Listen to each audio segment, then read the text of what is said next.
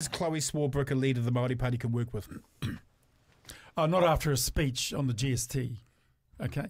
So uh, what she's going to have to do is What uh, did, what, did, what did she say on the GST? Sorry, John. they they voted it down. Yeah.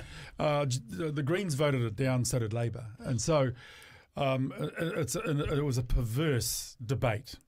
Okay, well, you've got this right wing government smashing, bashing everybody from beneficiaries all the way through, uh, and then giving tax cuts to the filthy few uh, and the rich. Um, but do you then have a bill being argued in the House that you can anchor uh, a lot of your theory to and a lot of what you stand for and your values, and they sold out their values on that day. and the first real economic debate because you've got to remember that uh, by and large this government has used urgency. They haven't had they haven't had um, select committees. they haven't had real debate. This was an opportunity to create create that debate. Not only did the Labor Party and the Greens did not vote for it, what they did do, and when it came to the first real economic debate, the first real economic issue, They ran away.